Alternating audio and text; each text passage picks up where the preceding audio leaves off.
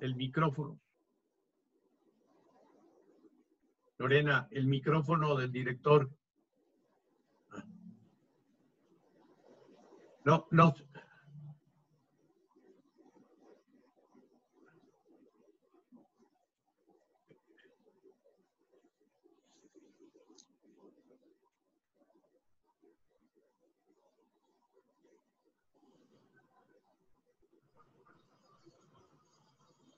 Ahí, ahí, está, ahí está el micrófono. Ahí lo.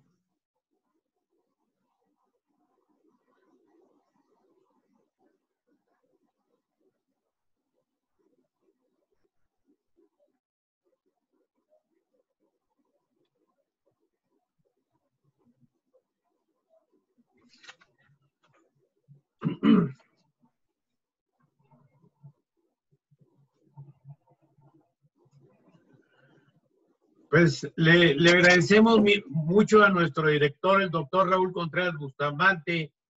¿Tiene algún problema técnico de, en- en- de comunicación? Continuamos eh, con la presentación del joven Marcos del Toral, quien señalábamos que es especialista en antilavados de dinero ha tenido una participación importante en diversas dependencias públicas, como son la Procuraduría General de la República, la Suprema Corte de Justicia de la Nación, el CONACYT y algunas dependencias supervisoras del Estado. Actualmente participa en la unidad jurídica de la Oficina de las Naciones Unidas contra la Droga y el Delito. Marco habla varios idiomas. Es miembro de diversas asociaciones. Ha estudiado diversos diplomados de, en Derecho me- Americano y Comparado, Ética Corporativa, corporativa y Gubernamental, Anticorrupción y Prevención en la Escuela Libre de Derecho. Ha participado como coautor en diversas obras relacionadas con la materia. El maestro Marco del Toral, al final, va a dar contestación a las preguntas que ustedes formulen a través del chat. Eh, así de que le rogamos de la manera más atenta, vayan formulándolas desde el comienzo, por favor, estaremos tomando nota. Mandamos un abrazo, están conectados en diversos países, como España y en la República Mexicana. Un abrazo a todos y le damos la bienvenida a don Marco del Toral. Por favor, maestro, tiene la palabra. Gracias.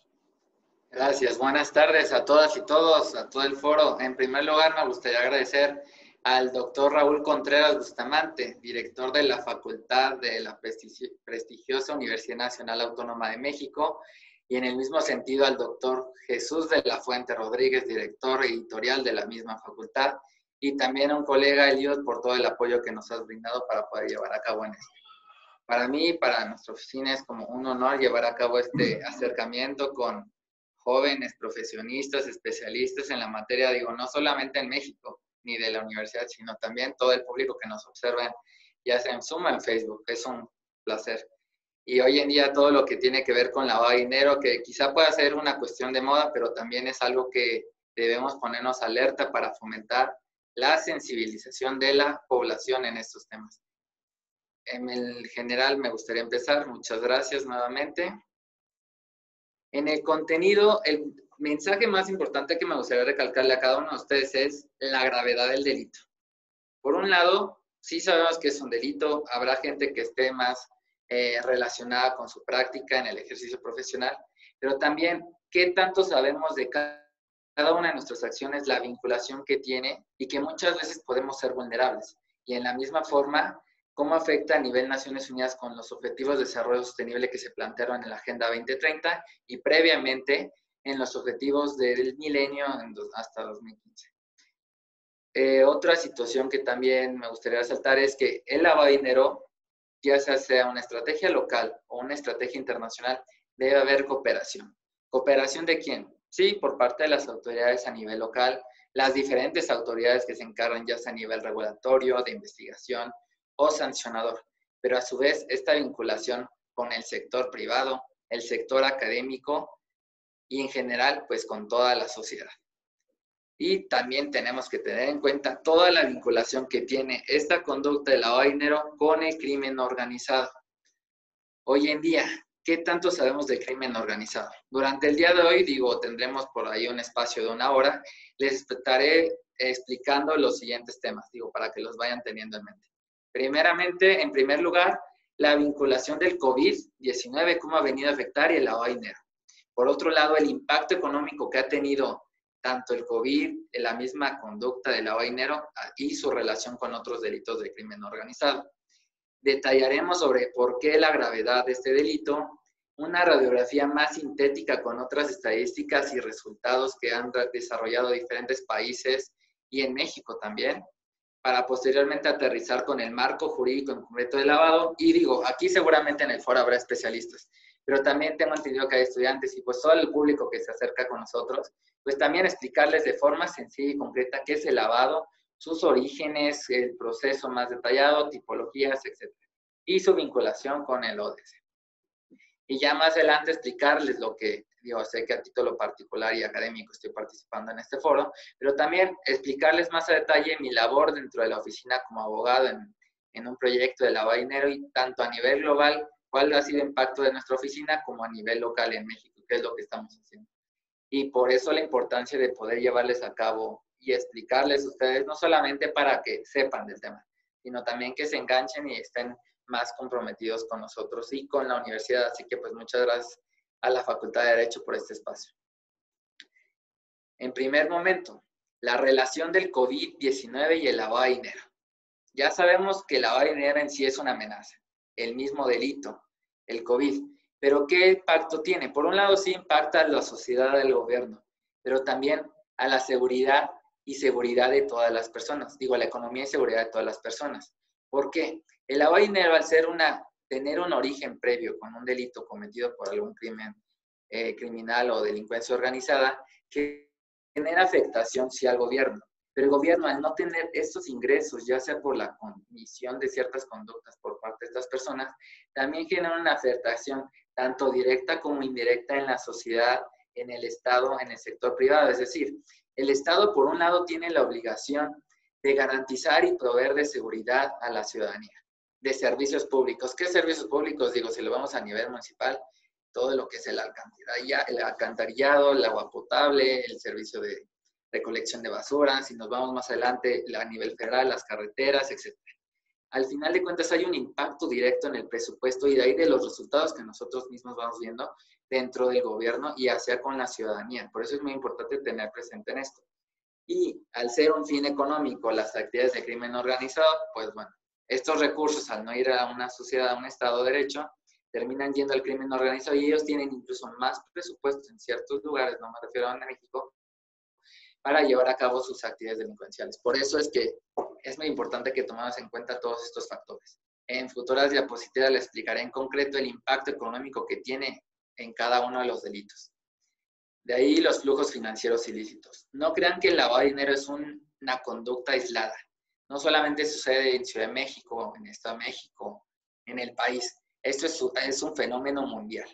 De ahí que incluso una cantidad de dinero eh, que sea depositada o transferida puede hacer incluso recorrer pues todo el mundo, ¿no? O sea, un delito que se cometa de lavado, no sé, en Colombia, transfiera por México y posteriormente pueda ver los beneficios en algún paraíso fiscal o incluso en Estados Unidos. Es una conducta que tenemos que analizarlo desde diferentes aristas. Como vimos hoy con la, la pandemia desde marzo, otros desde noviembre, se han tenido diferentes fechas de inicio. Hubo un cambio y una afectación sin precedentes hoy en día. Habrán ciertas personas que lo han sabido aprovechar, pero también ha, ha, sido y ha relacionado algo que nadie se esperaba, como pues la vida en general, ¿no? pero lo importante es seguirnos preparando y seguirnos estudiando. Hubo una transferencia de actividades físicas a una transferencia de actividades en línea. Hemos visto que la reducción de personas, pues cada vez hay más modalidad como office, pero no nos quedemos aislados a eso. Sí habrá personas que tengan, tengamos la fortuna incluso de hacer como office, pero no todas las personas. Hay incluso hay unas que dependen del trabajo día a día y pueden ser más o menos vulnerables, pero sí hay que tener en cuenta que esta, el COVID ha detonado las actividades en línea. Hoy en día, eh, ¿cuántos de ustedes requieren de una computadora para estar trabajando? Estamos hoy en día en una conferencia en Facebook. La vulnerabilidad que incluso puede otorgar datos, ¿no? Hay que tener presente todas esta, esta nuevas medidas de mitigación, de prevención que tenemos que tomar en cuenta todas las personas. Otro factor importante que ha traído consigo el COVID ha sido el miedo, el temor, pero dividido en dos. Por un lado, la gente, nosotros, cada una de las personas tiene el miedo de contraer la enfermedad, ya sea para consigo mismo o afectar a su familia. Pero también este temor ha sido aprovechado por quienes menos nos esperaban, ¿no? Sobre todo por el crimen organizado. ¿Y cómo han aprovechado, explotado estas conductas? Pues primero de ellos, eh, a través de la venta de medicamentos falsos, ¿no? sí vemos mucha oferta en línea, incluso en las calles, ¿no? De caretas, líquidos, aquí traigo también líquido. Es importante tomar las medidas de higiene, pero también hay que tener en cuenta que hay gente que de buena fe confía en ello, ¿no? Y hay que siempre vigilar que cualquier cosa que se vende en Internet, digo, no estoy desprestigiando el Internet, de hecho es un avance, ¿no? La economía y el comercio son de, las, de los fenómenos que van avanzando incluso en forma más rápida a nivel histórico no es lo mismo la ruta de las sedas o la ruta de la seda en la antigua era, hoy en día, pues el comercio electrónico, ¿no? Es un total cambio de paradigma. Y otro fenómeno que, que también se ha visto con todo lo del temor es el aumento de donaciones, ¿no? En línea, las nuevas páginas de internet, lo que llega en spam. Hay que tener cuidado y digo, más adelante le explicaré esto, pero es importante tenerlo presente de que así como nosotros hemos ido evolucionando para tratar de prevenir el COVID, prevenir el lavado, pero también el crimen organizado ha estado reforzando fuerzas. Y todo esto en suma, por un lado dejamos la tercera revolución industrial del siglo XVII, XVIII a la revolución que hoy en día estamos, ¿no? Esta revolución tecnológica que en los últimos meses se ha habido incrementada. Por un lado vemos lanzamientos espaciales de grandes sectores privados, pero también todavía falta mucho y lo más importante es tener el ánimo de poder llevar a cabo esto. El impacto económico. Aterrizando a números y datos concretos. Les explicaré en general siete delitos. Hay más delitos, pero al menos estos son los que día a día me toca investigar un poco más en mi oficina. El primero de ellos, en cibercrimen. No es, es un fenómeno relativamente nuevo, sí, pero ha venido teniendo su evolución en los últimos años. Incluso en el sexenio pasado, en 2016, con la Unidad de Innovación y Estratégica Tecnológica de la Oficina de Presidencia, se estimó que el cibercrimen le costaba a México 3 mil millones de dólares. Estamos hablando de una cantidad exorbitante si tomamos en cuenta los, la reducción de presupuestos que ha tenido el gobierno federal. Y esto es una estimación que se tuvo hace casi hace cuatro años. Hoy en día, en 2020, la USEC Network Magazine predice que estos delitos cibernéticos causarán a nivel global un impacto por un valor de 6 billones de dólares. Entonces, si vamos sumando estos datos económicos, podríamos tomar en cuenta que hay diferentes actividades, tanto a gobiernos locales como a nivel global, que se podrían destinar pues mejores fines o un mejor uso, ¿no? En el tema de corrupción, algo que ha sido muy en boga en los últimos años, sobre todo por diferentes hechos que no voy a repetir, que todas las personas pues conocemos en el medio, pero a nivel Naciones Unidas se estima que la corrupción anualmente tiene un costo de 2.6 billones de dólares, que equivale al 5% del PIB mundial. Si lo sumamos con la estimación del cibercrimen, que suma 6 billones de dólares, nada más en esos dos delitos estaríamos hablando del 10 al 15% del Producto Interno Bruto a nivel mundial. Si tomamos el 15% a nivel mundial, esto seguramente rebasa el presupuesto a México. Según el Banco Mundial, nada más en sobornos es de un billón de dólares lo que se lleva esta. Ahora bien, ya tenemos cibercrimen, corrupción, pero otro de los fenómenos, tráfico ilícito de vida silvestre. ¿Cuántos de ustedes, cuántos de nosotros hace unos años teníamos en mente esto? Hoy en día sí tenemos todos el compromiso de la protección al medio ambiente, pero no teníamos datos duros. Incluso el día de hoy, el Grupo de Acción Financiera en una de sus plenarias resaltó la importancia de combatir el tráfico ilícito de vida silvestre en las conductas de lavado de dinero. De acuerdo a nuestra oficina de Naciones Unidas, en el reporte de Atlas Mundial de Flujos Ilícitos de 2018, tenemos cuatro delitos principales, más no que no sean todos, pero al menos estos desde el programa global son los que se atienden. Los delitos forestales. ¿Qué entendemos por delitos forestales? Sí. La tala un árbol, no. Habrá que ser más de fondo. Todo el impacto que implica, valga la redundancia, las maderas preciosas en el comercio ilegal. Por un lado, vida silvestre sí abarca especies, también abarca todo el sector forestal, toda la biodiversidad nacional sean especies protegidas en peligro de extinción en general. Se tiene que velar por toda una protección global. Otro factor, si en delitos forestales el impacto es hasta 152 mil millones de dólares anuales. Podrán decir en México, bueno, tenemos bosques, sí, Ciudad de México, tenemos muchos árboles, pero también tenemos zonas protegidas. Por un lado está la selva candona en Chiapas, tenemos la región forestal en Michoacán, ciertas partes de Guerrero, también en Chihuahua. México es un país muy rico en biodiversidad tanto a nivel continental como a nivel global. Y es importante tener en presente esta protección. Pesca ilegal. Se tiene estimado, estos datos son globales. La pesca ilegal se tiene estimado de 11 mil a 24 mil millones de dólares su impacto. Podemos decir, ¿a poco se pueden cometer delitos de pesca ilegal? Afirmativamente, en México incluso hay muchos mecanismos o programas de protección a especies protegidas, como puede ser la vaquita marina en el Alto Golfo de California, Baja California. En, recientemente hicimos un evento en Mazatlán con diferentes autoridades ambientales, sobre todo especializadas en el sector pescado, y fue muy bueno, ¿no? Porque pudimos traer a la mente todo este impacto que lleva y que quizá es mayor en otros países que en México, pero hoy en día hay cada vez una mayor prioridad. Y lo que buscamos es destacar esto. La minería ilegal, otro factor, llega a impactar hasta 48 mil millones de dólares eh, ¿Dónde hay minería ilegal? Sí, se conoce mucho en México que hay empresas transnacionales que se dedican a la extracción de minerales, puede ser en las zonas de Sonora, en la zona de Guanajuato, en el Bajío, pero también hay minerales que incluso desconocemos recientemente, el yacimiento encontrado de litio en su caso, o las grandes fuentes de uranio en la región de Chiapas. ¿no? Es importante tener presentes estas actividades para poder medirlas y fomentar su prevención y combate del crimen en ciertos casos. Y pues aterrizando al comercio ilegal de vida silvestre, se tiene estimado hasta 23 mil millones de dólares. Si se fijan, son muchos datos, ¿sí? Es un gran impacto económico que se lleva a cabo, ¿sí? Y estas ganancias terminan estando pues en el crimen organizado.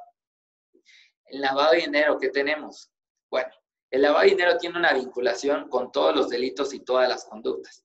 Nada más en este estudio de 2013, según la UNIC, el estimado de lavado es de 800 mil millones a 2 billones de dólares. En el caso mexicano estamos hablando del 2% del PIB, lo que equivale a 24 mil 700 millones de dólares. De acuerdo al Global Financial Integrity, se estima que México es el tercer país a nivel mundial, digo, son estimaciones, con mayor flujo de capitales de procedencia ilícita, con un aproximado de 50 y 60 millones de dólares al año. Ahora bien, esto en cuanto a los primeros delitos, pero son los únicos, no, al menos desde nuestro mandato de la UNICI. También resalto drogas. Justamente hoy es el día, pues justo de la de prevención y todo esto de drogas, ¿no? Y se fue, fue publicado el informe mundial sobre las drogas de 2020, por eso no podía desaprovechar esta oportunidad que el foro fue el día de hoy, y sobre todo en este marco de clausura del ciclo de conferencias de la OIN organizado por la, por la Facultad de Derecho. Se estima que 269 millones de personas, de acuerdo a un dato en 2018, 5.3% de la, población entre 15 a 64 años ha consumido algún tipo de droga. Estamos hablando de, si lo redondeamos al total de población mundial, que es de 7 billones, estamos hablando de casi un 3-4%. En este informe también se calcula que unos 192 millones consumieron cannabis en 2018. Es cierto que hay diferentes regulaciones en ciertos países, pero la que me gustaría resaltar es la del consumo a nivel mundial de la cocaína, que junto con los opioides es los que genera mayores afectaciones a la salud y genera pues mortandad alta en la población, ¿no? Se estima que 19 millones de personas consumieron algún tipo de cocaína en el mismo año. En un boletín, para citar a la misma UNAM, que citó un comunicado de la GAFI, se estima que anualmente se blanquean 85 mil millones de dólares provenientes únicamente del tráfico de drogas. Entonces aquí estamos viendo, ¿qué estamos viendo aquí? Hago la pregunta. Por un lado vemos el origen del lavado de dinero, que quizá en drogas fue el principal, pero hoy en día vemos una diversificación de las conductas del crimen organizado. Ya no solamente se dedican al tráfico de drogas. Por un lado, ya también se dedican al tráfico ilícito de vida silvestre, aprovechan los esquemas de corrupción, el tema de cibercrimen y otros dos delitos también. Digo, no son los únicos, pero son los que me gustaría resaltar.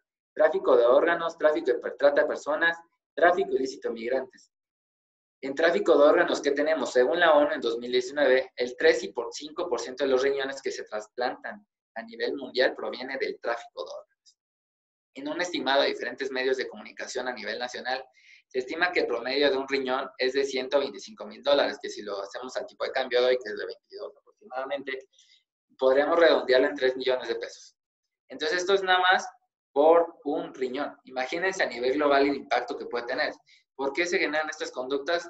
Por quizá una falta de prevención, por la falta de donación, una cultura de donación de las personas. Si se fijan, puede haber estrategias tanto de prevención como de mitigación y no esperarnos hasta ser reactivos, ¿no? porque eso incluso es más costoso y puede tomar más tiempo. En trata de personas, en 2005, la OIT estimó que hay alrededor de 2.4 billones millones de víctimas de trata a nivel mundial.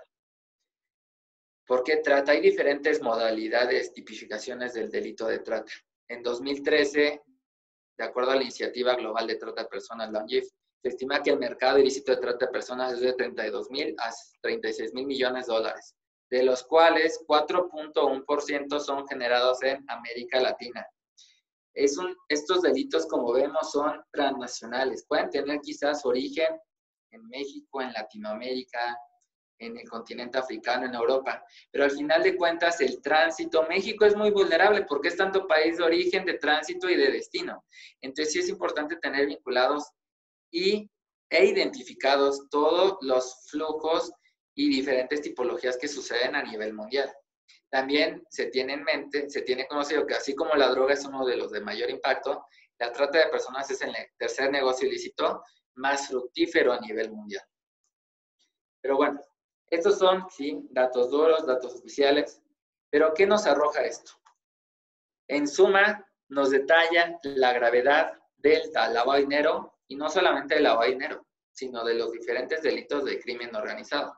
Por un lado, la UNICI, la Oficina de las Naciones Unidas contra la Droga y el Delito, tiene compromiso con sus Estados miembros, México uno de ellos, de prevenir y combatir el crimen organizado, la corrupción y de acuerdo a su mandato, que más adelante le explicaré más a detalle, este otro tipo de conductas. Y tenemos dos convenciones principales, la de Naciones Unidas contra la corrupción y contra la delincuencia organizada. Pero no son las únicas. A nivel nacional, el lavado de dinero ha sido considerado un asunto de seguridad nacional. Esto mismo establecido por la misma unidad de inteligencia financiera y diversas eh, autoridades del sector financiero de nuestro país y pues también es un fenómeno global. Pero bueno, por un lado tenemos lavado de dinero, pero como les mencionaba antes, el impacto económico es diverso por las mismas fuentes de dinero. Y hay que relacionar el lavado de dinero con, los, con las diferentes actividades de crimen organizado. ¿Cuáles son estas? Pues los diferentes delitos que pueden existir. Por un lado, sí, tráfico de drogas, tráfico de armas, trata de personas, el mismo secuestro. El lavado de dinero tiene en sí su origen un delito precedente por el cual buscan ocultar la apariencia del mismo. Otros delitos que hoy en día están siendo muy conocidos, que son los delitos ambientales y forestales, y es muy importante, ¿no? O sea, todo, cada una de las conductas son importantes, cada una de las estrategias de los países, de las autoridades son importantes, pero hay que tener en presente qué es lo que hace el crimen organizado, o sea, reiterar las conductas que comete este tipo de organizaciones, porque al final de cuentas sí podrá haber esfuerzos muy importantes de las autoridades nacionales pero no llegarán a impactar realmente al crimen organizado, ¿no? Cada vez quienes se demuestran más organizados. Otros datos, pero ya más detallados, acciones de investigación, de procuración, impartición de justicia. Se, tiene, se tuvo en 2019 que de las 140 denuncias que hubo relacionadas con lavado de dinero, el 36% fue relacionado con delitos fiscales y el 23% por actos de corrupción. Esto de acuerdo a informes publicados por la Unidad de Inteligencia Financiera. Eh, a partir de la promulgación, ¿en México tenemos acciones contra y en favor de la prevención del lavado de dinero? Sí. ¿Desde cuándo? No es algo nuevo, desde 2002, incluso desde 80s, 90 se tenían pláticas para generar estas regulaciones, pero fue hasta 2012 y 2013 con la promulgación y publicación de la Ley Federal para la prevención e identificación de operaciones con recursos de procedencia ilícita. De acuerdo a los últimos datos, tanto de Fiscalía como de la OIF, las principales entidades federativas relacionadas con la dinero, pues son, digo hay más, pero las principales son Ciudad de México, Baja California, Tamaulipas, Jalisco, Sonora y Sinaloa. Si se, si se dan cuenta, Ciudad de México es obviamente por el nivel de población y mayor vulnerabilidad, pero Baja California tiene ciudades fronterizas que tienen un alto grado de mercado y tránsito de personas, tanto legal como ilegal, digo en general Baja California, pues toda la frontera norte. Tamaulipas, Sonora, Sinaloa, si se fijan, la mayoría de los estados de la frontera norte o que tienen una relación con la frontera norte. En otros datos, la CEPAL estimó que de un estudio de flujos financieros, los tres países que a nivel continental generan mayor impacto, sobre todo en Latinoamérica, porque esto no cuenta Estados Unidos, es México, Brasil y Costa Rica, siendo México quien lidera estos datos.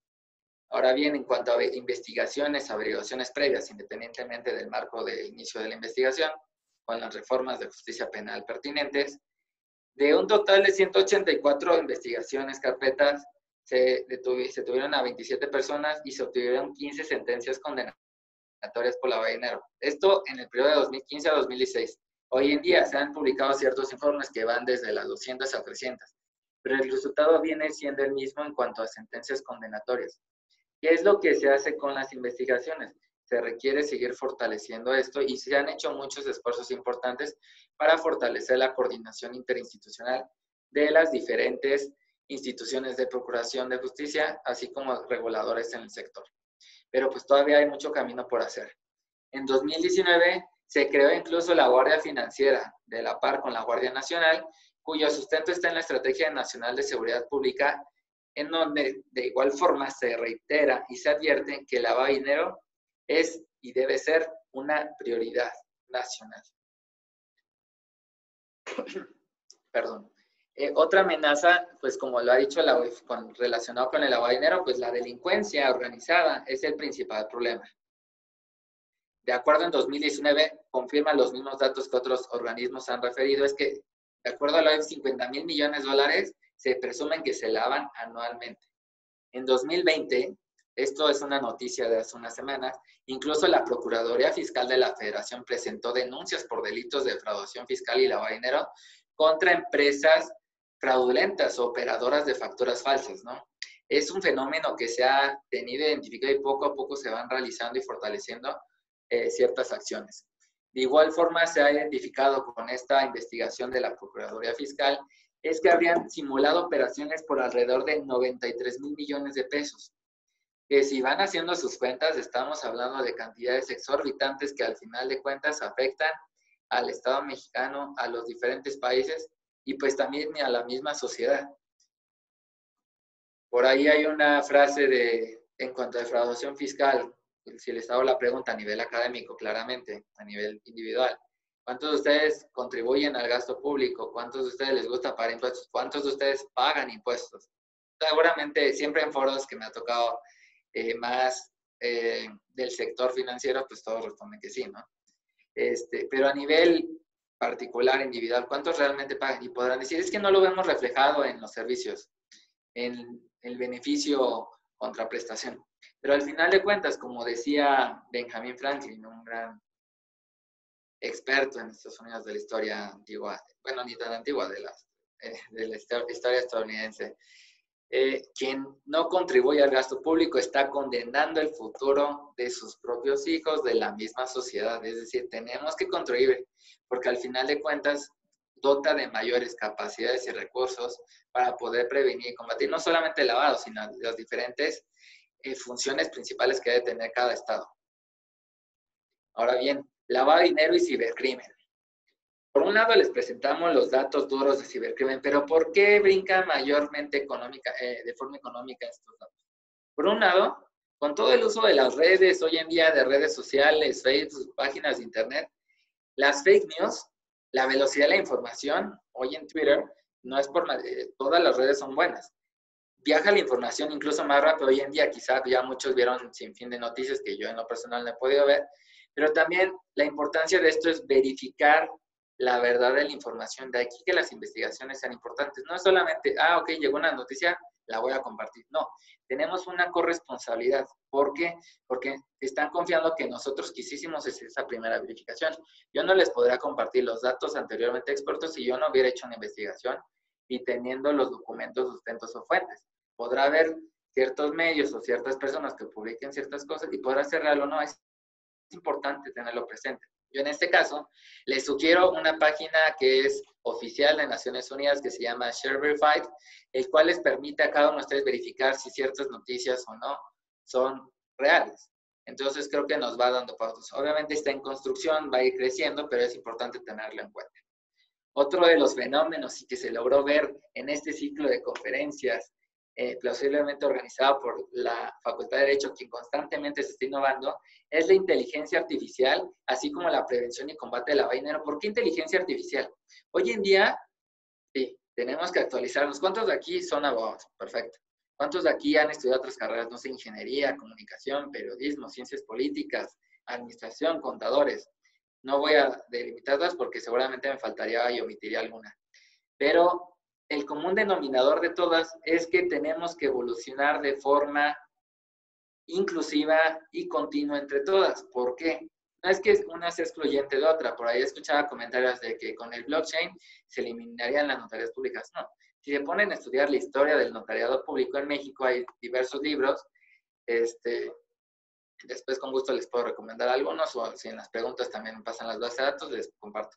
Pero la fe pública nació como tal por la confianza que tenía el Estado en ciertas personas, en su, en origen con los escribanos, etc. Pero para no abundar en esto, la blockchain viene haciéndolas como la figura del sello público. O sea, tienen que complementarse porque al final de cuentas, el notario con la tecnología tienen que vincularse. No es que una sea excluyente de otra, y esto es para ambos sectores, porque lo importante es que la tecnología genere vínculos, combinaciones, pero sobre todo sinergias. De igual forma, con inteligencia artificial, el uso de datos, hoy en día que uno puede compartir datos incluso sin saberlo, ¿no? Quienes de aquí usaron la aplicación FaceApp y subieron su foto para ver cómo se veían de diferentes formas. Es bueno, pero es importante leer también las cláusulas pequeñas, ¿no? El qué información, hasta qué punto compartimos. Hoy en día a nivel satelital, el derecho espacial y la tecnología también involucra la comunicación cuántica, la teletransportación de datos cuántica, donde incluso son más seguros que dentro del mismo blockchain. O sea, todo va complementando y evolucionando y es importante actualizarnos. Tech Law and Business Analytics. La información cada vez es más y el tiempo es menos. Tenemos que usar las herramientas para que nos ayuden a analizar y sistematizar la información. Y yo les invito, yo en lo caso, cuando yo me gradué de la carrera, fue, fue algo que estudié, yo estudiaba leyes de 2010 a 2015 pero este marco jurídico se ha visto en constante actualización y pues como el mismo decálogo del abogado dice, ¿no? Y que seguramente aplica a todas las carreras. Quien no estudia y se actualiza constantemente, pues queda desfasado, ¿no? De aquí la importancia que siempre estemos en constante actualización, en este, participando en este tipo de foros, debates y contribuyendo con ideas, ¿no? Porque como todo, pues nada es cierto, todo es verdadero. Entonces, siempre una verdad y demás es lo bueno del derecho que se va actualizando y demás siempre respetando pues los marcos jurídicos y pues el deber ser. La suplantación de identidad como otro de los fenómenos, phishing y distribución de programas informáticos maliciosos, bueno, por un lado, sí, hay ciertas cuentas de correo que son más seguras que otras, como una Gmail, está Outlook, Yahoo, etc. Hay muchas veces que tenemos un prefiltro y todo esto llega al correo no deseado o se elimina.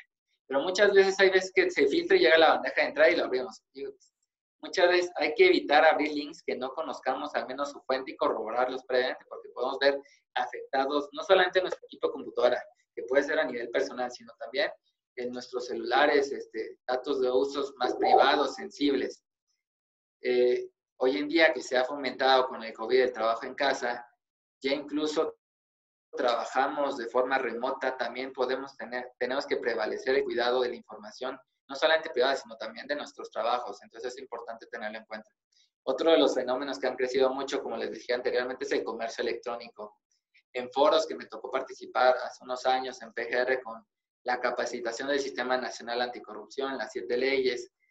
Eh, uno de los principales fenómenos que me gusta marcar es Hoy en día, el hecho de comprar en línea, ¿qué tan fácil era antes? Les comentábamos quizá usar una plataforma, digo, todo a nivel académico, Amazon, Mercado Libre, hoy en día Walmart, etcétera. Cada vez es más fácil, incluso antes era muy complicado comprar en Internet por todos los pasos que tenía que llenar uno. Yo incluso en menos de tres minutos puedo hacer una información y mandarlo como tal este, y recibirme pedido incluso el mismo día de otro país. Digo, los mecanismos de tecnología y de comercio han ido avanzando poco a poco en cuanto a Deep Web y Dark Web.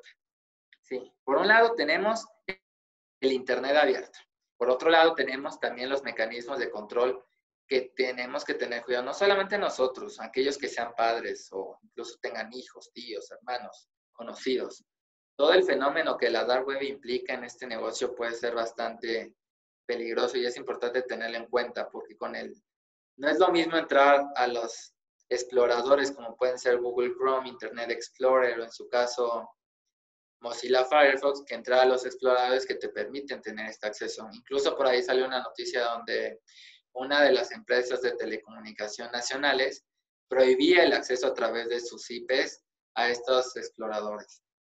Es importante tenerlos presentes porque es en estos mercados negros en línea donde hay muchos flujos financieros. Por ejemplo, la mayoría de las actividades de crimen organizado sea tráfico de drogas, tráfico ilícito de vida silvestre, era a través del, flujo de aeropuertos, vuelos nacionales, internacionales, pero hoy en día que están limitados, restringidos, que las personas no salen, ¿dónde se están orillando esto? En el comercio línea. Y es importante ubicarlo y que después se generen mayores diagnósticos que nos permitan fomentar y la prevención de estos fenómenos.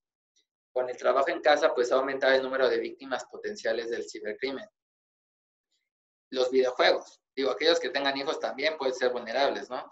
Por ahí hubo una noticia donde, digo, creo que no fue muy conocida, pero donde se gastaron los, la tarjeta de crédito de unos padres para que el hijo pudiera comprar sin fin de juegos en un juego de, en un videojuego.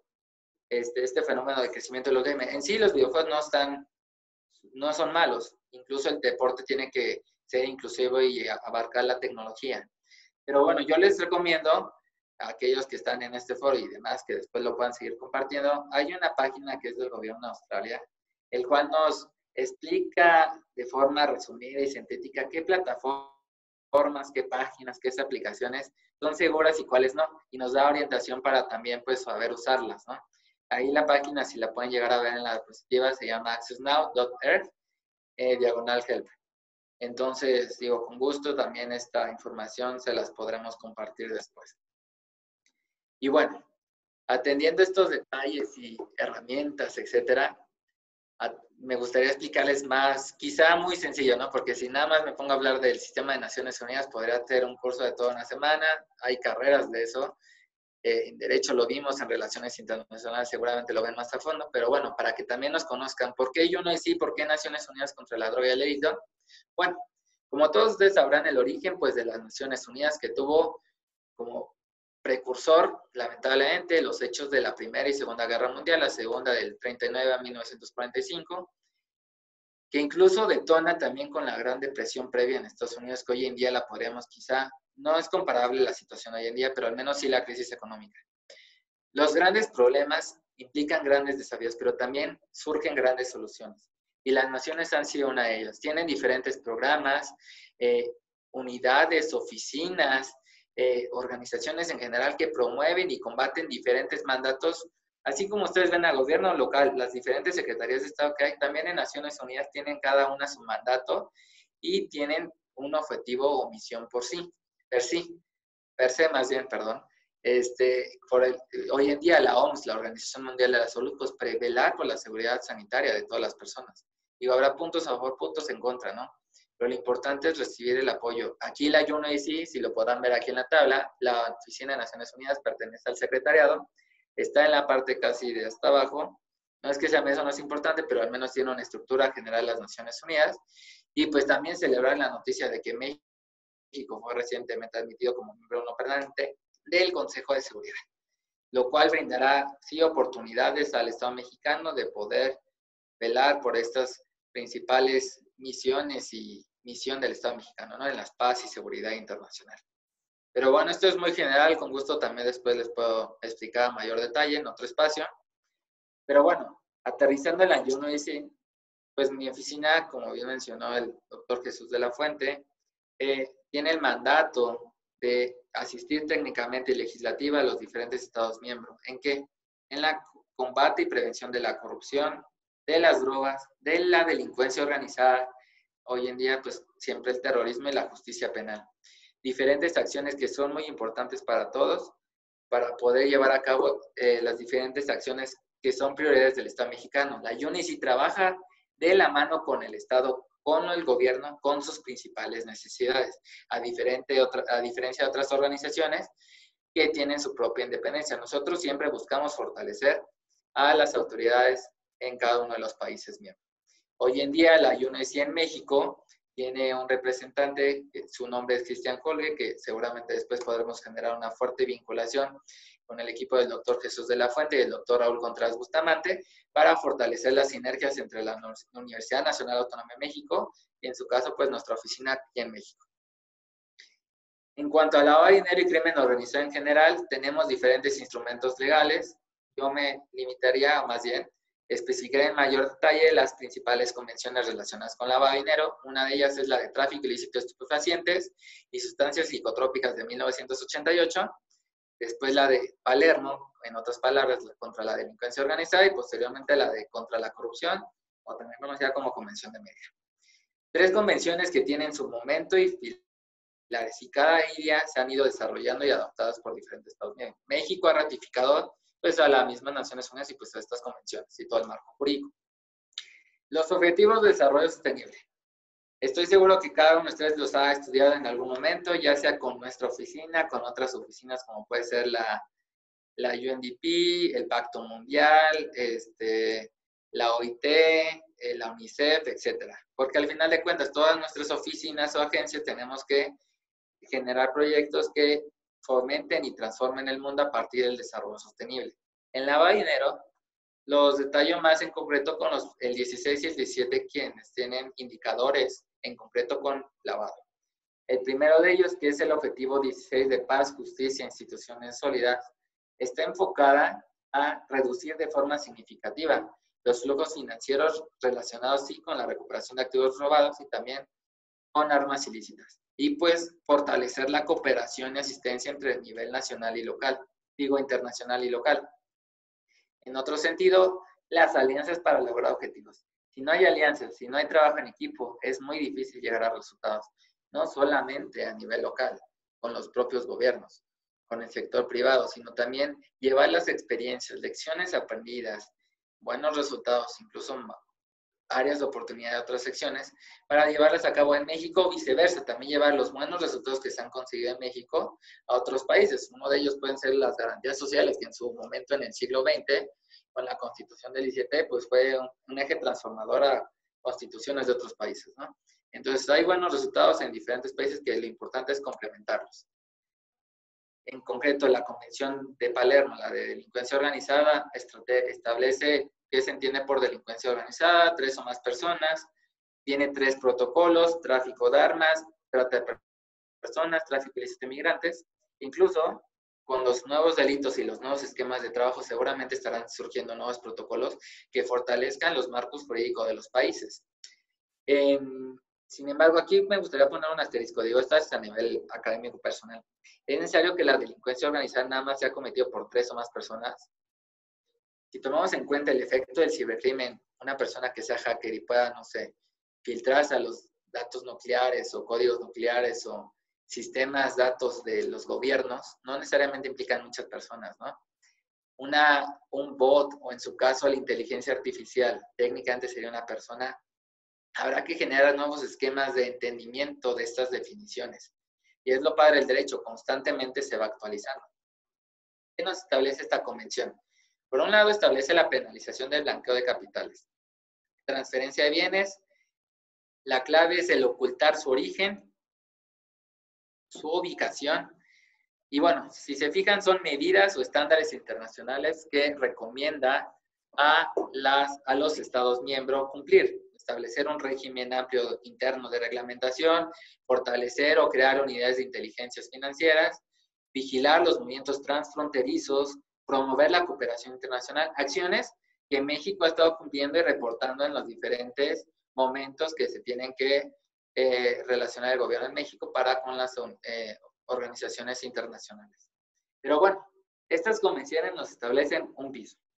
México puede formar parte de otros organismos internacionales, como es el caso de la GAFI, afiliada en su caso si lo aterrizamos a la región, etcétera, con el cual buscan promover sinergias y también crecer en mayor grado. Por un lado, sí tenemos esos estándares básicos que debemos cumplir, pero tenemos que ir más allá. Bueno, y seguramente muchos de eh, ustedes ya saben al menos el origen del de dinero, datos, definiciones, pero bueno, así para explicarles a grandes rasgos aquellos que se estén familiarizando en esto y estén demostrando un interés.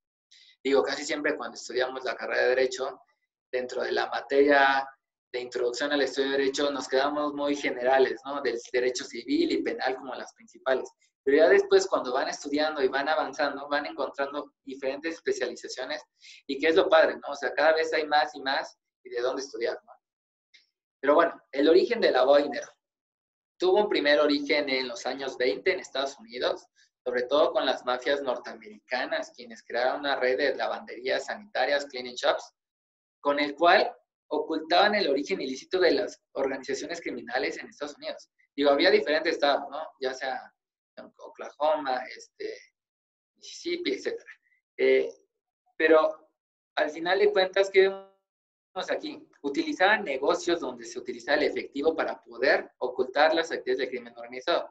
Y podría ser a través de dos formas, ya sea ellos obteniendo o siendo dueños de estos mismos negocios o empresas, o en su caso, extorsionando a las empresas, que es un fenómeno que incluso vemos hoy en día. La expresión fue utilizada por primera vez a nivel judicial en 1928 en los Estados Unidos al ser confiscado un delito procedente por tráfico de drogas. A nivel personal, yo les recomiendo mucho un libro, a aquellos que les guste la lectura, ya sea que lo lean de forma física o en Kindle, en Kindle, eh, Sin salida, John Grisham. Eh, es un libro, la verdad, bastante bueno, el cual explica cómo un abogado busca crecer. Digo, no les quiero contar todo eso porque les voy a arruinar el libro, pero al menos se los recomiendo mucho porque especifica estos riesgos de lavado de dinero. Engañando con la planificación fiscal. Per se, la planificación fiscal no es mala. A nivel conceptualización, conceptos de lavado de dinero, también tenemos la convención en su primer momento de 1988 de tráfico ilícito de estupefacientes. Como saben, en un primer momento el principal negocio, el principal delito de crimen organizado eran las drogas. Por eso es que en esta convención se decidió definir en un primer momento era muy básica, conversión o transferencia de bienes, eh, cuyo procedencia era algún delito en este caso, o diferentes delitos que tenían por sí un origen, destinarlo a una comisión de conductas jurídicas en su acción. Es muy general esta definición y pues sí nos dice algo, pero pues quizá no sea de fácil entendimiento a las demás personas. A mí en lo personal me gusta ponerles mucho de ejemplo la definición de la doctrina jurista suiza Ursula Kazan y seguramente habrá más, Ah, yo les recomiendo compilar diversas definiciones y después construir su propia definición. Esto genera un mejor entendimiento racional de cada uno de los temas. En, este, en esta definición de la jurista Úrsula, nos comenta que la fuente, eh, el acto es el acto por virtud del cual existe una fuente ilícita o el empleo ilícito con el cual son disimulados con el propósito de hacerlos aparecer como adquiridos de forma ilícita. Es decir, tenemos una conducta ilícita con el cual se obtienen ciertos recursos y se buscan esconder o en su caso hacerlos parecer lícitos, que en otras palabras, una definición muy sencilla, hacer parecer lícito lo ilícito. De aquí la clave del lavado de dinero, hacer parecer que este dinero tiene un origen ilícito y filtrarlo al sistema financiero. ¿Cuál es el proceso de este lavado de dinero? Tiene tres fases, colocación, transformación e integración. En colocación podemos entender en un primer momento toda esta ocultación u origen del por qué surge un lavado de dinero. Puede ser un secuestro, el dinero obtenido por el tráfico de drogas y tenemos, no sé, una cantidad de 100 millones de dólares. ¿Qué queremos hacer con esos 100 millones? No vamos a ir al banco y lo vamos a depositar. No vas a hacer una compraventa en efectivo con un notario dando fe pública. No, lo que buscan las actividades criminales es cambiar la apariencia de esta cantidad, ya sea dividirlos en diferentes montos o fusionarlos o integrarlos con ganancias lícitas. De ahí que se vaya transformando o en otras palabras, estratificando para hacer parecer más legal este dinero ilícito. Y como tal se transforma la apariencia del producto ilícito. Un caso muy concreto puede ser, no sé, algún negocio local de comida rápida, eh, de repente genera ingresos superfluos y muchas veces no fue técnicamente por venta de productos, ¿no? sino también para hacer parecer que se ganó más dinero cuando no fue así. Y ya una vez se tenga esta apariencia engañada, pues se genera la integración. Y como tal, pues la integración en todo el sistema financiero pues como tal, las técnicas para integrar el lavado de dinero son infinitas, hasta la misma imaginación. A mí me gusta poner mucho esta imagen del agua, porque así como cae la gota, de, una, de un primer momento se puede identificar, pero una vez que se van expandiendo las ondas, las cadenas, las transferencias, hace más complicado la identificación del dinero. Es conocido contablemente que sigue el dinero y sabrás de dónde viene, ¿no? Pero pues con todas las nuevas tecnologías se puede llegar a perder. Las tendencias del crimen organizado, por un lado teníamos las tríadas chinas con las diferentes comunidades en diferentes países, en México, en el centro, en la zona de eh, Tepito y demás, vendían hay mercados donde productos de contrabando, eh, muchas veces estas operaciones eran en efectivo. El contrabando puede ser a nivel, eh, digo, es internacional, ¿no? Pero puede ser no solamente con las tierras chinas, sino hoy en día con diferentes países. Lo importante ahí es que han ido modificando sus culturas de comercio. Los carteles colombianos, otro de los fenómenos. ¿Por qué carteles colombianos? Pues bueno, tiene mucha relación con el origen y evolución de la droga. Hoy en día Colombia pues ha ido erradicando y mitigando este fenómeno y México estamos pasando por una etapa similar y que seguramente estaremos saliendo adelante. Pero bueno, los carteles generan sus ingresos en, estos esquemas, ¿no? Sobre todo con la venta de drogas, no sé, ya sea que la producción sea en México, sea en Colombia, México sea un país de tránsito. Por un lado, se buscan esquemas a través de túneles para llevarlo a Estados Unidos, pero el regreso de ese puede ser incluso de forma legal. Eh, en una misión, en, una, en un reportaje de Tijuana, sí hay muchas medidas de control para las personas para transitar hacia San Diego, por ejemplo. Pero de San Diego a Tijuana prácticamente los controles son nulos. Entonces, digo, la cuestión sería llevar la droga allá y regresar el efectivo acá, ¿no? Pero ahí los fenómenos de lavado de dinero pues van aumentando. La corrupción, los sobornos, cada vez con grandes contratos multimillonarios. La naturaleza de las operaciones transnacionales. Y algo que resalto, la mafia siciliana. ¿Por qué mafia siciliana?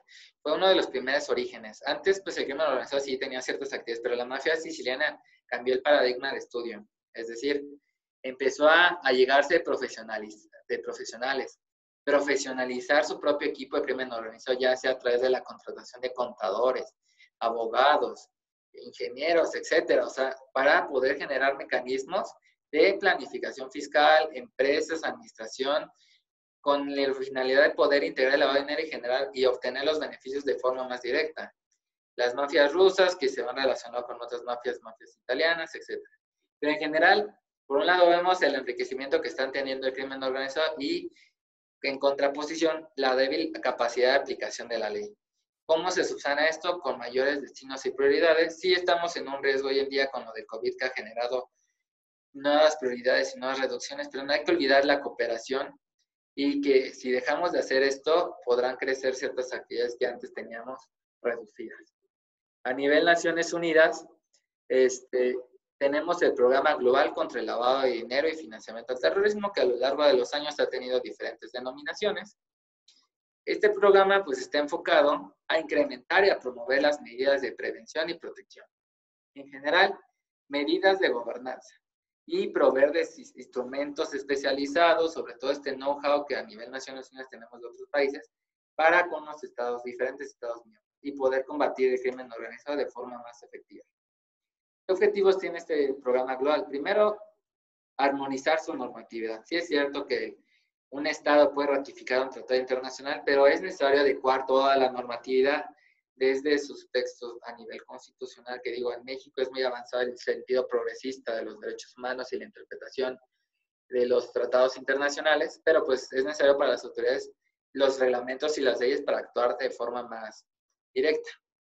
Conocimiento especializado y medible. Ofrecer las capacidades, ya sea a través de capacitaciones, trainings, eh, nuevas guías, herramientas que permitan a las autoridades combatir de forma más especializada estos fenómenos y pues las nuevas tecnologías, ¿no? No es suficiente la, la investigación como se daba antes a, a, papel.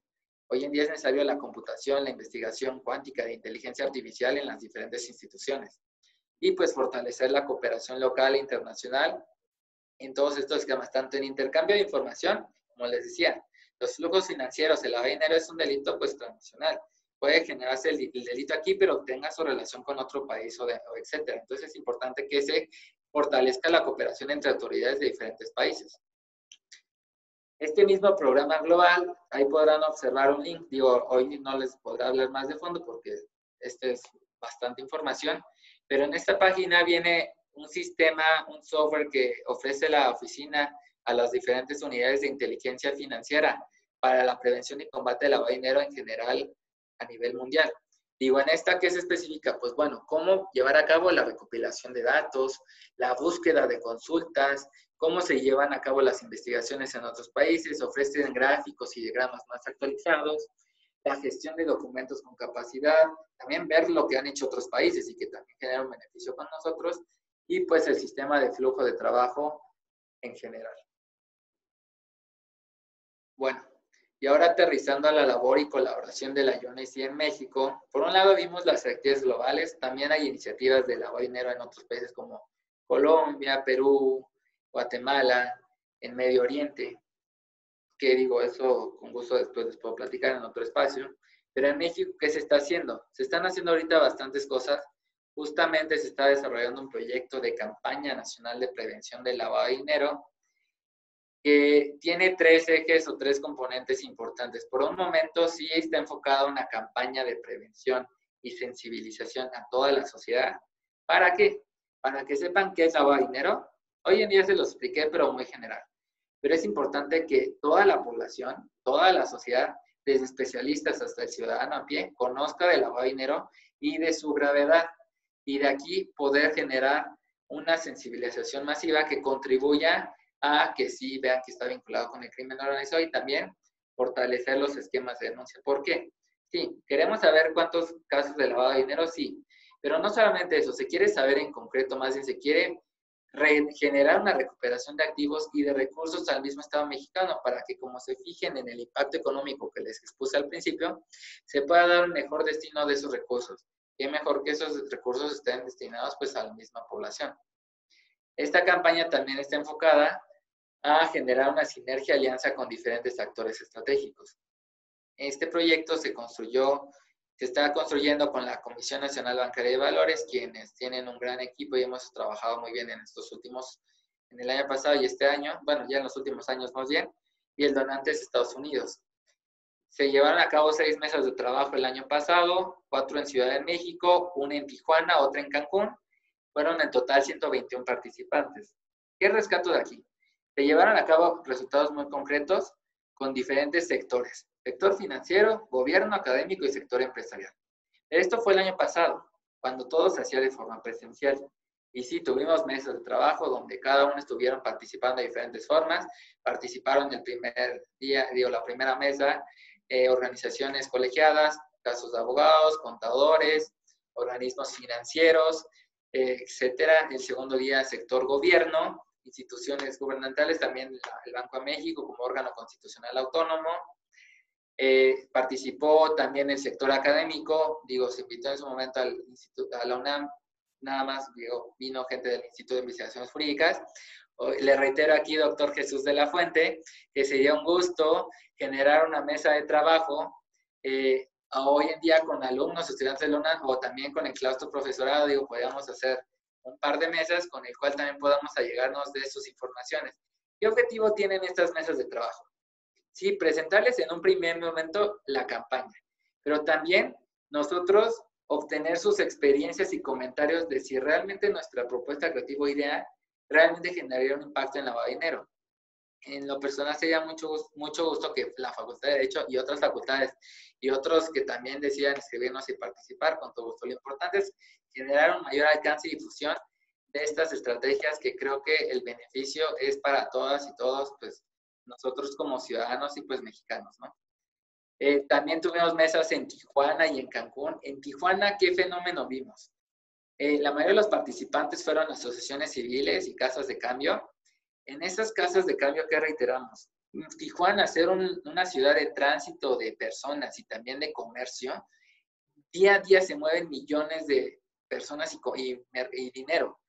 Incluso en un reciente estudio de, eh, no me acuerdo quién fue, pero fue publicado recientemente por la página del gobierno de Estados Unidos, eh, se estima que hay aproximadamente 100 millones eh, de, personas que cruzan en un periodo mensual. O sea, aunque sean las mismas personas, cruzan diariamente. Entonces es algo bastante impactante. Después les busca el dato y con gusto se lo comparto en mayor detalle. Pero como les decía anteriormente, sí hay muchos controles de medidas para ingresar a Estados Unidos. Una es por pie y otra es a nivel automóvil o a nivel avión en el aeropuerto. Eh, o en mismo caminando con el nuevo puente este que hay ahí. Pero también las medidas no son contra, no son equilibradas de Estados Unidos para acá, entonces ahí genera una cierta vulnerabilidad. También participaron diferentes asociaciones eh, especializadas en migrantes quienes nos dieron también un detalle, ¿no? De cómo vincular el lavado de dinero con el tráfico ilícito de migrantes. ¿Cómo? Pues porque les piden de favor transportar dinero, ¿no? Efectivo, o ciertas mercancías que se pueden distorsionar para esquemas de lavado de dinero. Y en Cancún también por una mesa en específico, sobre todo con casas de, eh, casas de apuestas. ¿Qué obtuvimos en estas mesas de trabajo? Así como se llegó a sensibilizar y obtuvimos ciertos conocimientos de estas personas y todos los actores estratégicos que estuvieron participando, se generaron y obtuvieron datos que nos permitieron eh, no solamente conocer, sino también tomar en cuenta que la imaginación para cometer un delito de lavado de dinero es muy amplia. Y de ahí que estas historias las estamos construyendo en tipologías de lavado de dinero que después nos permitan construir videos de forma más sencilla que se puedan transmitir a toda la población. Primero, eh, vemos quiénes son sectores vulnerables, ¿no? Eh, universitarios, hoy en día que estamos en el foro de UNAM, ¿por qué universitarios? Primera vez que están abriendo cuentas de banco, hoy en día con todo el uso de las cuentas digitales, no se están estigmatizando, pero hay que tener en cuenta que estas nuevas tecnologías que tienen que cumplir con ciertas nuevas leyes, sobre todo la ley FinTech en su caso. Entonces es importante tener en cuenta la vulnerabilidad que podemos tener presentes. Aquellos que deciden no sé, hacer viajes o eventos de graduación, el depósito en cuentas, no se sabe el origen del dinero, entonces es importante tenerlo presente. El derecho de piso, eh, esta extorsión que se pueden generar en ciertas poblaciones, en ciertas ciudades, en el caso de Ciudad de México, en otros estados, ¿no? Les amenazan que les presten las tarjetas, ya sea sus IDs, en este caso identificaciones eh, oficiales o sus tarjetas bancarias. Les pregunto, ¿ustedes alguna vez han prestado su ID o una licencia o, una, tarjeta bancaria para pagar? No sé, oigan, no tengo, no tengo, quiero comprar algo en Amazon en Internet, ¿me presta su tarjeta? Hay que tener en cuenta todos estos riesgos y medidas. El uso de empresas fantasmas. Recientemente el SAT pues, ha identificado un sinfín de empresas factureras. Otro fenómeno, comidas de oro. Esto pues nos lo eh, detallaban en ciertas mesas de trabajo. En estas comidas, ¿qué nos detallaban? Bueno, ciertas personas invitaban a un grupo de personas para llevar a cabo, no sé, comidas o ventas en general, pero a cambio de que estas personas pudieran asistir, necesitaban llevar artículos de lujo, de joyería, ya sea oro o plata, en su caso arte, pueden ser fin de ejemplos, y aquí la condición es que les pagaban en efectivo. Entonces, por un lado, eh, las personas que sí llevaban, no sé, su alhaja o su collar de oro, lo entregaban. Podría tener un, origen lícito, pero el dinero que ellos recibían podría no ser precisamente un origen lícito. Entonces, estas personas de crimen organizado obtenían bienes que como tal pues son lícitos y es más fácil irlos a empañar y no tener que acreditar eh, su origen a como si fuera el dinero en efectivo. Entonces son diferentes esquemas que uno se va dando cuenta entre más estudia y más se acerca con la población. Los burritos o mulas son fenómenos en el cual se le piden de favor a ciertas personas cuando se trasladan a otras ciudades o países de llevar sumas o grandes sumas de dinero, ¿no? Para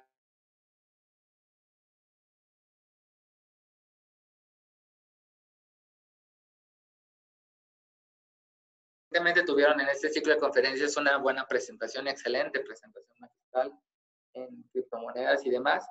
Y no, no hay que estigmatizarlas, pero también hay que tener en cuenta que en el cibercrimen, en la dark web, hay cryptocurrencies que no son precisamente legales y ciertas eh, organizaciones criminales allegan esto para obtener beneficios en este sentido, sobre todo en la bar en la dark web. Este, el uso de tarjetas prepago es otro fenómeno que está identificado, ¿no? Por un lado, los depósitos, las compras, no se van a un Ox y compran ciertas tarjetas, o van a un centro cualquiera de suministro. Se paga en efectivo. No hay que estigmatizar el efectivo, pero también hay que tener en cuenta la vulnerabilidad que tiene el, estos esquemas, ¿no? Sobre todo, se compran millones de tarjetas y después las revenden en Mercado Libre o en, hasta mismo Amazon. Incluso ya se han generado medidas de reducción de esto, ¿no? Sobre todo la reventa. Pero es importante tenerlo en cuenta. Eh, incluso puede ser la venta de eventos deportivos y conciertos. Eh, la simulación de préstamos, eh, aquellos que radican en Ciudad de México, no sé si en otros estados también, hay muchas gentes que llegan con flyers informativos para ofrecerles grandes préstamos en cantidades y muchas veces estos esquemas pueden ser vulnerables a todos nosotros. Las casas de cambio, hoy en día cada vez hay una mayor regulación, hay unas que pertenecen a ciertas organizaciones, pero también sigue habiendo una vulnerabilidad para aquellas que todavía no están registradas. E incluso el cambio que puede ser en línea, ¿no? Por un lado físico, pero también en línea. Y bueno, esto en cuanto a historias. ¿Cuál es el siguiente paso? Digo, creo que ahorita no, no, no, no sé qué tan factible sea compartirles a través de este medio la encuesta. Eh, es una encuesta preliminar que hicimos para medir el lavado de dinero en general respecto de si les gustaría o no una línea de denuncia. Como parte integral del proyecto se busca fortalecer esta denuncia y les presento resultados básicos, sobre todo un estudio remoto de 24 horas. Eh, el cual pues generó datos concretos, ¿no? ¿Quiénes fueron los mayores participantes? Profesionistas y estudiantes y servidores públicos. Y después a través del equipo de la facultad les puedo compartir esta encuesta. Sería, la verdad, bastante provechoso que tengan también sus datos. La mayoría de los encuestados, aunque sea en línea, fue Ciudad de México. Hubo una proporción equilibrada entre hombre y mujer. Una de las preguntas fuertes era si habían sido víctimas o testigos de algún delito. El 70% comentó que sí. ¿Qué nos ¿Qué pregunta presidió esta? Él sí, habían acudido a denunciar este delito. El 36% comentó que sí. El 34% comentó que no y después se dividió en que no han sido víctimas, pero sí o no denunciarían. ¿Qué nos da a entender esto? Que en la siguiente pregunta nosotros les solicitamos que cuál sería la principal razón por la que ellos no denunciarían, suponiendo que sí hubieran sido víctimas de delito. Esto para ampliar la pregunta. La mayoría de ellas comentaba que lamentablemente pues la desconfianza en las autoridades y la pérdida de tiempo. Se entiende que pueden costar mucho tiempo, mucho tiempo de presentar una denuncia.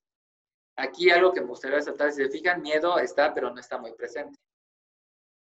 Ahora bien, ¿cuál es la principal razón por la que sí denunciarían las personas? Todos creo que coincidimos en la justicia, que como todo es el deber ser, pues del mismo derecho, todos aquellos que estudian, incluso no necesitan estudiar derecho para saber que quieren justicia, ¿no? Esto es un bien, esto es una virtud universal, un valor universal que se tiene que respetar. Y el sentido de responsabilidad, de esperanza de que iba a suceder algo. ¿Qué modalidad la gente prefería para denunciar? Predominaron dos. Por un lado, sí, la denuncia digital, pero también físicamente en las oficinas de las autoridades. ¿Qué nos detalla esto? Que incluso la gente, a pesar de no tener cierta confianza, tiene confianza en que a nivel personal van a recibir una mejor resolución que si es en línea o si es por teléfono. Entonces también aquí nos pone a pensar, tanto a nosotros en Naciones Unidas como con el gobierno en su momento, pues de que tendremos que buscar algo inclusivo. También otra de las preguntas eran saber si sabían lavado de dinero. La mayoría de ellas decían que sí, se preguntó a un público muy especializado y les orientamos que si estuvieran interesados en saber más, les pregunto a ustedes, ¿les gustaría recibir o mayor orientación de la campaña en su momento a través de una página web. Digo, en su momento les compartiremos la encuesta y pues nos darán sus resultados, ¿no? Eh, ahora bien, aterrizamos a la pregunta de la denuncia del delito de lavado de dinero. Aquí ya cambió el presupuesto. El 58 mencionaba que sí denunciarían y el 34% que tal vez. ¿Por qué razón no denunciarían? Aquí cambió totalmente el sentido. Aquí no era tanto por desconfianza, era el factor era el miedo y se entiende. Hoy en día el lavado de dinero involucra todos los intereses que tiene el crimen organizado por sin fin de delitos. Entonces, llegarle a uno de sus principales fuentes puede generar sí miedo, puede sí generar cierta impunidad, pero a la vez genera un mayor compromiso, ¿no? De si realmente estamos comprometidos en la prevención y combate de estas conductas. Nosotros a nivel nacional estaremos construyendo durante este año este sistema, ya sea que si sea de forma digital o un combinado híbrido. Algo breve para también ahondar y también como explicar después en detalle es lo de la recuperación de activos. Eh, seguramente ha sido mucha información, algunos de ustedes todavía estarán aquí conmigo, seguramente mucha gente todavía, desconozco cuántos, pero lo importante es que conozcan el fin de, pues, de lavado. Por un lado, sí, todo el lavado y el origen y bla, bla. Pero también, ¿qué se hace con este dinero que se recupera?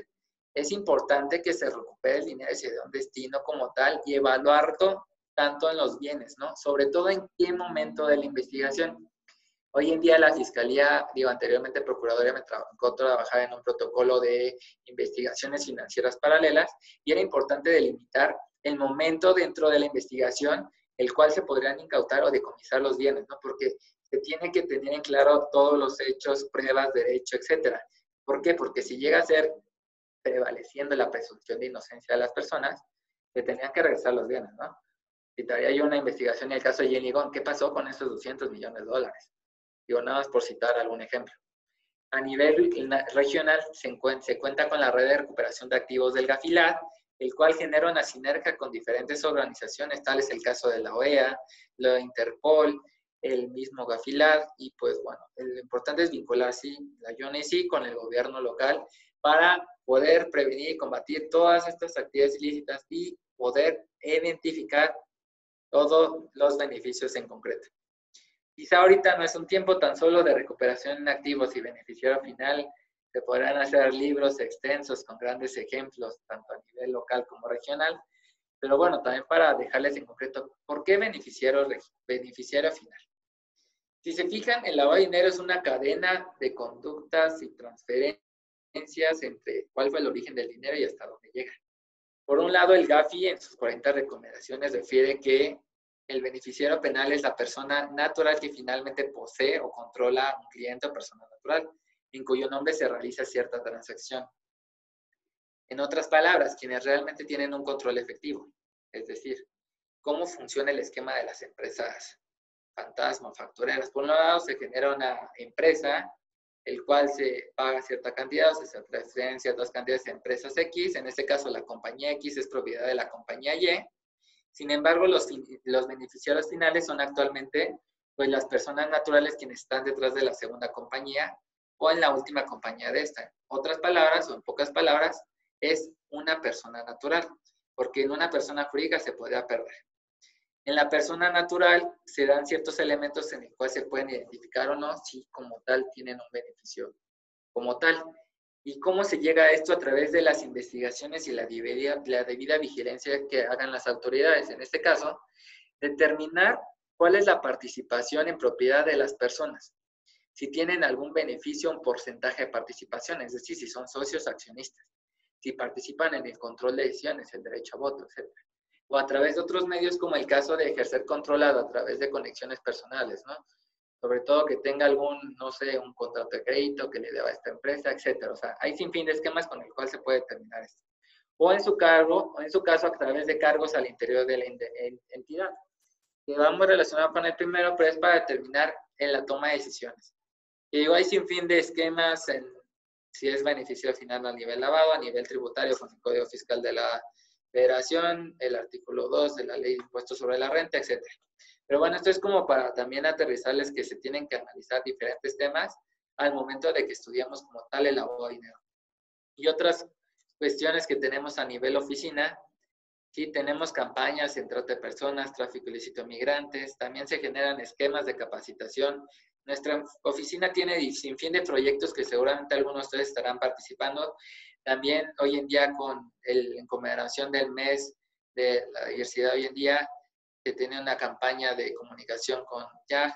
Entonces, hay sin fin de acciones en género, en trata, migrantes, justicia penal, etcétera. Entonces es importante también que nosotros nos expliquemos con ustedes y generar sinergias que también los vincula a ustedes con nosotros. ¿Cuáles son los próximos pasos? Pues seguir promoviendo una agenda de trabajo con esta Agenda 2030 en el marco de cooperación, generar puentes académicos y vínculos con la Universidad Nacional Autónoma de México, con otras universidades, con el sector privado, todos aquellos que nos están viendo que pertenezcan a alguna empresa, sector, organización civil, de la sociedad civil, este sector gobierno, a otras entidades federativas, es importante generar este vínculo y cooperación que contribuyan a combatir la impunidad, el crimen organizado y como tal los sinfines de delitos que hoy en día se cometen en nuestro país. Y pues en general, muchas gracias, doctor Raúl Contreras Bustamante, director de la facultad, de igual forma, doctor Jesús de la Fuente, director editorial de la Facultad de Derecho, y bueno, pues a todos y todas ustedes que estuvieron aquí escuchándonos, espero que no haya sido mucha información, pero la verdad es un gusto estar con esta escuela, esta universidad, gran universidad nacional, con la Facultad de Derecho, que en lo personal nos lleva porque, aunque sí me había tocado participar en diferentes foros y conferencias, son la primera institución académica incluso antes que la mía, digo, lo digo al comercial, pero eso me compromete a tener que estudiar, obviamente aplicando las diferentes convocatorias con ustedes y quizá próximamente en la Facultad de Derecho. Muchas gracias. Eh, Marco, ¿puedes quitar la presentación, por favor? Claro, claro. Eh, agradecemos mucho a don Marco del Toral su espléndida conferencia sobre lavado y la prevención del lavado en México. Y a continuación, eh, dará respuesta a algunas de las preguntas que se han formulado sobre esta conferencia.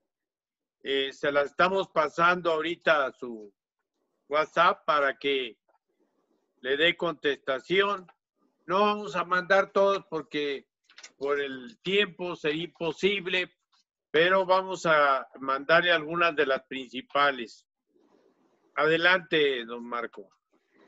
Gracias, doctor Jesús de la Fuente. Voy viendo las preguntas, digo, son bastantes, pero eh, me gustan, la verdad, porque son muy diversas. Eh, la primera de ellas de Lara Shure, no sé si lo estoy pronunciando bien. Eh, un particular tiene obligación de saber sobre dónde proceden los recursos con los que se paga un servicio. Hay obligaciones derivadas de la Ley Federal para la Prevención e Identificación con Recursos de Procedencia Ilícita, que como tal refieren a ciertas actividades vulnerables a sujetos eh, corresponsables. Sin embargo, todavía esta actividad no está como tal delimitada a toda la sociedad. Por eso es importante sensibilizarlos, porque si llegamos a realizar una actividad vulnerable, que estas actividades, como les, no creo que no les detallé tanto de fondo, pero puede ser eh, la compraventa de las operaciones con notarios, el tema de casas de cambio, casas de casino. Sí es muy importante que empecemos a adquirir este compromiso, ya sea si somos particular, sector privado como empresa o a nivel eh, gobierno, porque al final de cuentas nos contribuimos a la prevención y combate. Sí hay diferentes niveles de obligaciones y hoy en día con la nueva regulación del artículo, la nueva, el artículo 19 constitucional, en el cual se especifican como prisión preventiva oficiosa todo el tema de crimen organizado, la nueva Ley Federal de Delincuencia Organizada, la Ley de Seguridad Nacional, el Código Fiscal de la Federación, el Código Penal Federal, esta ley federal que anteriormente le cité, cada vez el marco jurídico es más amplio y nos van vinculando. Por lo tanto, es importante tenerlo presente que, aunque seamos ciudadanos en, en, primera persona, tenemos ciertas obligaciones. Y a nivel, una de las principales obligaciones que tiene, de acuerdo al artículo eh, constitucional 31, fracción cuarta, establece que es obligación de los mexicanos contribuir al gasto público y hoy en día la defraudación fiscal se contempla. Entonces, hay que tomar en cuenta todos estos factores y pues tratar de, de en esto. Eh, es complicado saber de dónde provienen los recursos, de ahí la importancia de contribuir a estos esquemas de denuncia, ¿no? Porque al final de cuentas, las labores de investigación no son de la ciudadanía, son de las propias autoridades. Pero si nosotros los allegamos con ciertos elementos, podemos contribuir a la mitigación de estos eventos. Eh, la siguiente pregunta por parte de Rubo Flea menciona, ¿qué opina sobre la necesidad de contar con un oficial de cumplimiento en las empresas que se encuentren como actividad vulnerable para implementar un programa de prevención de la dinero? Bueno, creo que, creo que eso va a decir, es bastante importante. Hoy en día ha habido una evolución a nivel eh, organizacional empresarial entre la obligación de contar con códigos de ética, oficiales de cumplimiento, las certificaciones que hoy en día ofrece la Comisión Nacional Bancaria de Valores en Prevención del Lavado de Dinero, los cuales invita a las personas a profesionalizarse y también a las personas morales, es decir, a las empresas, de que sus actividades económicas, porque el fin de las empresas como tal es a llevarse de recursos, pero también tiene que cumplir con las obligaciones corporativas eh, también regulaciones nacionales y también incluso con estándares internacionales. Eh, el tema de corrupción y la integridad tiene su origen en la FCPA y la Foreign Corrupt Practice Act. Entonces, incluso una, soberanía internacional vino a aplicarse y tener efecto en México. Entonces, en cuanto a oficiales de cumplimiento, hoy en día hay una mayor regulación, cada vez más empresas, pero también tenemos que entender que aunque sí las empresas contribuyen en gran medida al desarrollo de un país, la mayoría de los empresarios o de la población económicamente activa pues trabajan en pymes o empresas, empresas familiares o pequeñas. Y muchas veces estas empresas no tienen la capacidad de contar con oficiales de cumplimiento. Entonces tienen que generar esquemas eh, entendibles, ¿no? Para poder contribuir con estas obligaciones y sí seguir profesionalizando tanto los que sean oficiales de cumplimiento como los que no, y seguirse actualizando, porque los oficiales de cumplimiento tienen mucha obligación, así como en su momento, pues los contadores, ¿no? Eh, siguiente pregunta es de, eh, bueno, relacionado con la pregunta anterior de Rubo, mencionaba del programa de prevención del lavado de dinero. De acuerdo a las recomendaciones del GAFI, cada vez se le dan mayores obligaciones al Estado mexicano y al sector privado de cumplimentar. A nivel oficial de cumplimiento, pues tienen la obligación de desarrollar ciertos manuales, eh, esquemas de monitoreo de riesgo, evaluaciones de riesgo que contribuyen en gran medida a esto. Sí, sí es muy importante y lo más importante, digo, valga la redundancia, seguirse actualizando en este tema. Es complicado, pero al final de cuentas, lo bueno de estos foros y de economías es que podemos generar sinergias y lo que ya realizó alguna empresa puede ser de mucha utilidad a otra. Y el uso de inteligencia artificial creo que deberían de utilizarlo mucho los oficiales de cumplimiento porque genera un mejor análisis de la información y sobre todo de la data, big data, de las empresas como tal y contribuye mucho a estas medidas de mitigación. Eh, esta pregunta de Norma Larcón, muchas gracias. Cuando se tiene una asociación en la que se reciben donativos, ¿cómo se puede saber con certeza el origen de estos recursos? Y una segunda pregunta en la misma, ¿y cuál es la responsabilidad en que incurren las personas que sin saber reciben donativos y dichos recursos son de procedencia ilícita? Bueno, en esta pregunta me voy, como dirían en su momento los grandes maestros y doctores de Derecho, al esquema previo de los contratos y la figura de la donación en el esquema civil. Por un lado, sí se pueden recibir ciertas donaciones que tienen que cumplir con ciertos parámetros del Código Civil Federal. Sin embargo, cuando estamos hablando de donaciones, eh, ya de empresas o en este caso de, ya sean que sean instituciones de asistencia pública autorizadas o donatarios autorizados, tienen que cumplir con ciertas reglas. Y en este caso pueden ser las emisión de facturas y contraprestaciones. Hoy en día el SAT, digo, no estoy tan presente, pero en colegios de contadores que hemos tenido diferentes foros, eh, se tienen las DOT, las declaraciones de operaciones con terceros. Entonces, sí es importante tener en sus propias declaraciones que como tal tiene esta organización llevar a cabo de forma individual y pues como tal, eh, será labor del SAT identificar si este ingreso como tal, la donataria tiene un ingreso, pero este ingreso, ¿de dónde viene? ¿Sería un pago en efectivo o sería, si esta donación fue a través de una transferencia, fue de una empresa o una organización legalmente constituida o vino de un efectivo, etcétera? Es, por eso es muy importante el mapeo de los recursos. Y de aquí que, ¿cómo se puede saber con certeza? Pues lo importante, si ustedes reciben una donación de un millón de pesos, un millón de dólares en efectivo, se tendría que reportar al menos como una actividad vulnerable. En este caso, las obligaciones, si tienen la, la donataria una cuenta bancaria, será corresponsabilidad de la institución bancaria bajo los parámetros de la Comisión Nacional Bancaria de Valores de reportar esta, esta actividad vulnerable. Eh, otra, ahora bien, eh, oye, eh, Elizabeth González menciona cómo se sanciona el phishing. Bueno, eso implica toda la regulación del cibercrimen. Hoy en día las autoridades competentes en nuestro país son el Instituto Federal de Telecomunicaciones, también la misma Guardia Nacional con diferentes esquemas de su Guardia Financiera y la Guardia Cibercrimen, la Fiscalía General Pública en ciertas unidades que tienen llevada a cabo esta investigación tenemos un marco jurídico, sí, pero todavía es un poco, en áreas de oportunidad, por así decirlo. Entonces, lo más importante hoy en día es prevenirlo, porque todavía a México le hace falta mucha regulación en ese sentido. Y pues es importante, si sabemos de algo, presentar la, denuncia como tal. ¿Cómo se sanciona? Pues a través de una denuncia. Sí, hay diferentes medidas de, de sanción, sí. Hay este, medidas, se me fue el nombre, eh, administrativas, pero también ponderadas, porque no es lo mismo cierta la comisión de un delito con la proporcionalidad de las penas, pero por eso es importante resaltar la gravedad de los delitos vinculados con el crimen organizado, en este caso el cibercrimen. Hoy en día falta mucha regulación a nivel tecnológico y seguramente estaremos avanzando poco a poco. Pues esperemos mucho, mucho. De aquí la gran importancia de los juristas en México, pues, con nuevos marcos jurídicos, nuevas doctrinas, etc. Eh, otra pregunta de Isabel Molina. ¿Qué instituciones brindan capacitación en materia de lavado de dinero? Aquí no me gustaría ser comercial porque hay tanto en el sector público privado que llevan a cabo diferentes capacitaciones. A nivel nosotros no tenemos como tal un programa específico de capacitación, pero pues si nos solicitan asesoría, con gusto podemos atenderlos.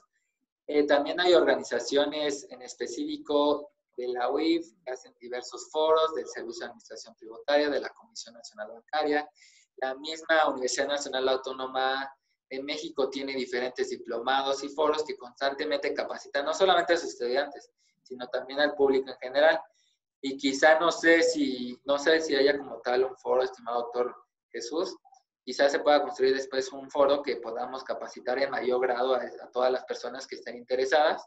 Y creo que esto puede ser una gran oportunidad para detonar lavado de dinero, vida silvestre, cibercrimen, para acercarlo a todas las personas. Así como hay consultorías también en el sector académico, yo valoro mucho la porque acerca y da un libre acceso a la educación, al conocimiento a todas las personas, pues sin costo. Habrá ciertos programas que sí tengan costo, pero también hoy en día, pues muchas veces estos cursos luego tienen un alto costo. Entonces, poder compartirles toda esta información, pues es algo muy valioso y le agradezco nuevamente al doctor Contreras y al doctor de Este, Ahorita tengo estas preguntas, no sé si te, eh, den espacio para más, doctor. O... Este, te las mandamos y después las puedes contestar vía el chat, por favor. Si te parece bien, mi querido Marco.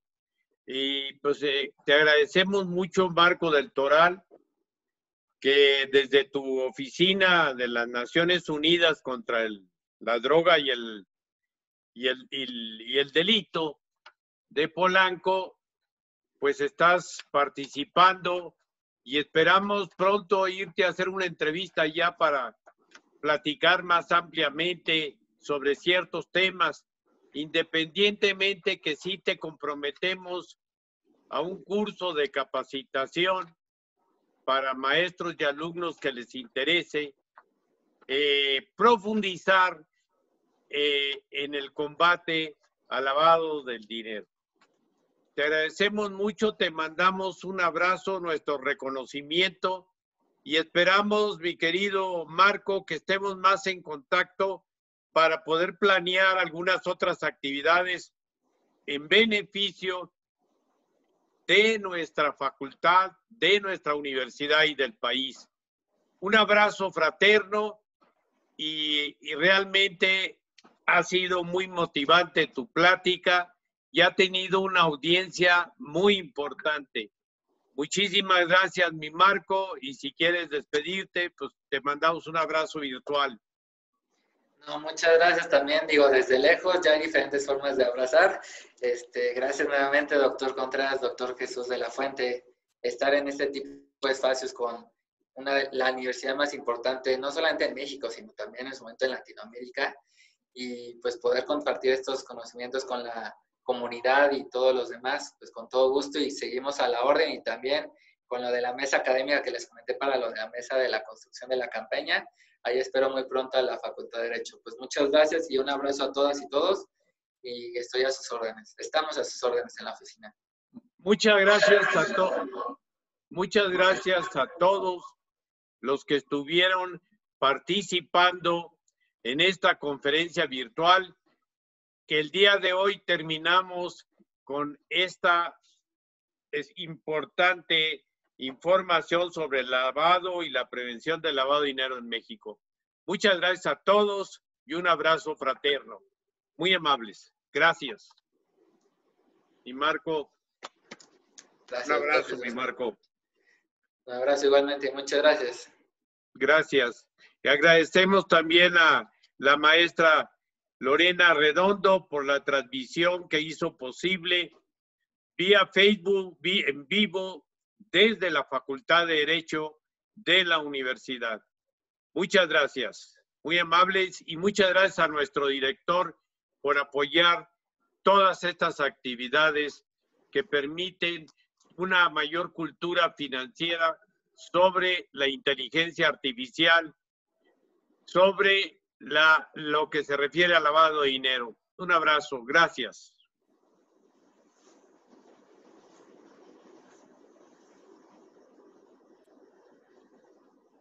Nos desconectamos, mi Marco. Perfecto, doctor Jesús. Pues quedo a sus órdenes. Ya igual, gracias, Eliud. Creo que estaba él en Facebook todavía. Sí, Eh, y pues bueno. ahí, ahí después platicamos, mi Marco. claro sí, gracias. supuesto. Buena tarde. Gracias, muchas gracias.